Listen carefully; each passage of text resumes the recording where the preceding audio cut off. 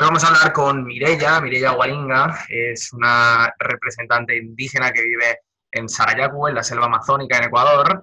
Eh, Mirella estuvo el año pasado en la cumbre de las Naciones Unidas, en la cumbre social que se hace en paralelo a la del cambio climático. El año pasado eh, fue allí, en Madrid, y hoy nos va a contar eh, cómo está la comunidad afrontando el coronavirus, eh, cómo se prepara en un primer momento, qué medidas están adoptando para una posible entrada del virus o, casos de contagios y sobre todo, bueno, con qué ánimo lo están viviendo y de qué manera ven esta crisis mundial en una porción tan interesante como es la selva amazónica. Hola, muy buena Mireya. Ya, ahora sí me ves, ¿me escuchas? Ahora, te veo y te escucho perfectamente. ¿Tú a mí? Eh, sí, también. Bueno, Mireya, em, tú vives en la, en la selva amazónica, vives en, en Sarayaku. ¿Cuál es la primera reacción cuando se empieza a escuchar que, un virus está por ahí pululando y que está afectando no a unos, sino a muchos países. Cuando empezó el estado de emergencias aquí en Ecuador, la Confederación de las Nacionalidades Indígenas de Ecuador, que es la CONAIE, tomó medidas estrictas en las comunidades para evitar el contagio. Cada pueblo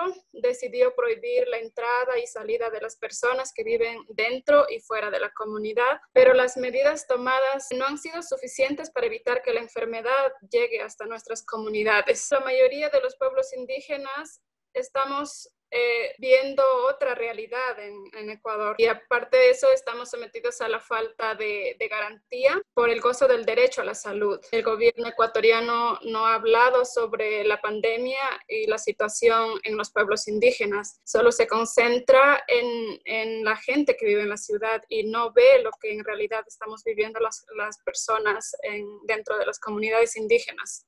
Claro, porque mm, las el, Estado, Ecuador, no tiene presencia física en las comunidades indígenas. ¿De qué manera está llevando la situación? ¿Cómo la está controlando las comunidades? ¿Sois vosotros mismos quienes decidís si acatáis las mismas o normas o no que las lleva, eh, que, que, adopta el gobierno de Ecuador? ¿O de qué manera estáis actuando en relación a las medidas que sí toma el gobierno de Ecuador? Las medidas que el gobierno ha tomado lo estamos aplicando tanto en las comunidades también.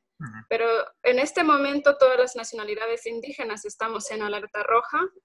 Eh, exigimos el apoyo del gobierno en cuestión de salud, en, insumos de higiene y protección, pero, pero no, no hemos tenido hasta ahora ninguna respuesta al respecto la sanidad ecuatoriana no ha hecho ninguna intervención con, las comunidades indígenas. No, todas las comunidades indígenas estamos como aislados, como que no perteneciéramos a parte del, Ecuador, diría yo.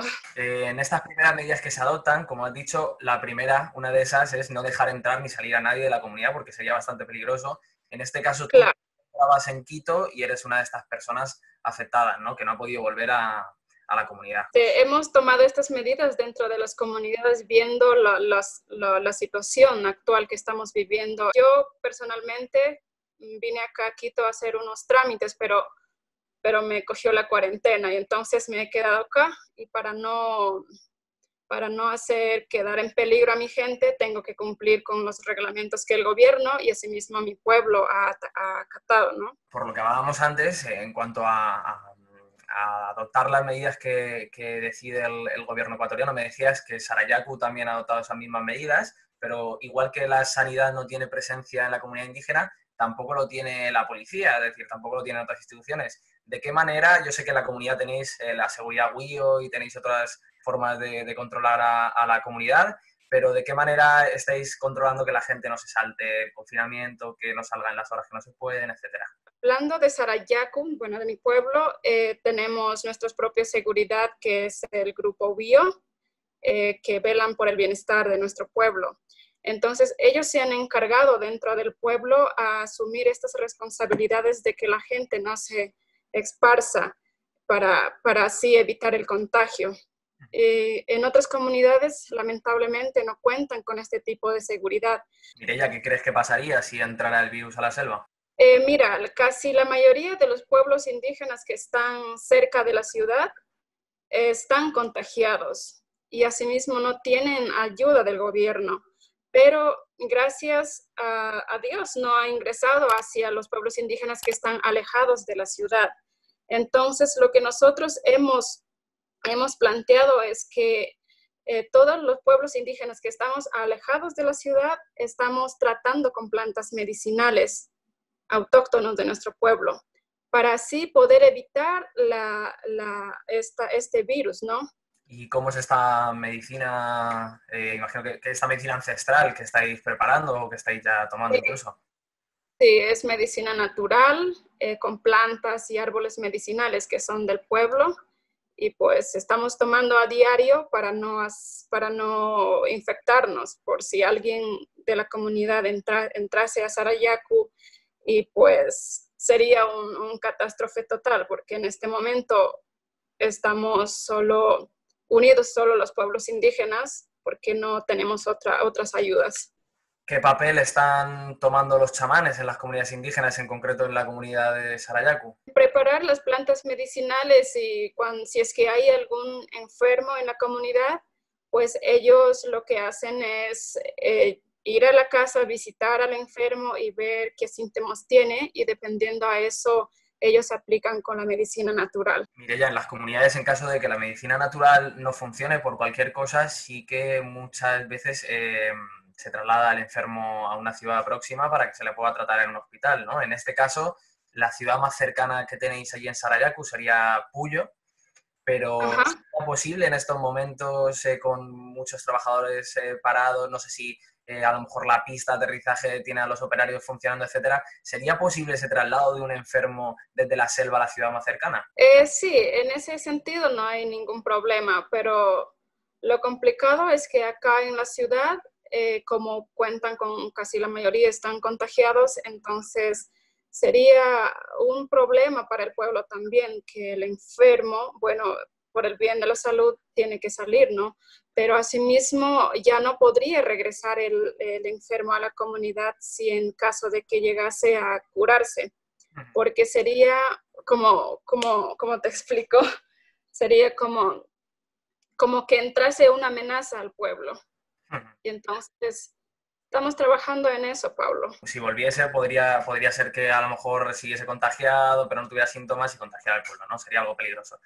Em, pero, Sí, pero gracias, gracias a la madre naturaleza, nosotros con plantas medicinales estamos eh, tratando de evitar este contagio y pues seguimos adelante. Es una pena porque recientemente también eh, la comunidad indígena de la Amazonía eh, sufrimos grandes catástrofes naturales como las inundaciones.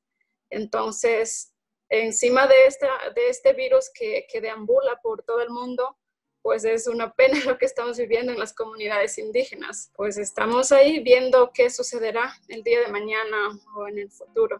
Que sí, tenéis una mala racha porque hace poco se deportó el Bobonaza, ¿verdad? Sí, pasó arrasando todas las casas que están cercanas a la ciudad, a la ciudad, digo, al, al pueblo, y pues fue una, una, pena para la gente. ¿Os habíais logrado recuperar de eso antes de que llegara el coronavirus o estabais todavía en, en, obras, por así decirlo? El coronavirus ya estaba en Ecuador y en todos lados.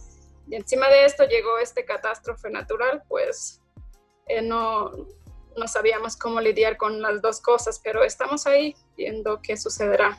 Ya he visto que miembros de, los Siecopay, otra comunidad indígena del Ecuador, hay muchas eh, familias que se están adentrando en la selva, es decir, que se están alejando de la comunidad porque ha fallecido una persona de 70 años y se desconocen todavía los hechos, hay personas que sospechan que puede ser coronavirus, hay otros tantos, unos 20, que tienen síntomas también que podrían estar relacionados con, con, el COVID. En Sarayaku la mayoría de las personas están quedándose en el pueblo, en la comunidad, o también están yéndose río abajo para adentrarse todavía más en la selva. Los pueblos indígenas que están cercas a la ciudad, ellos están sufriendo con este del coronavirus porque ya ha llegado a sus comunidades.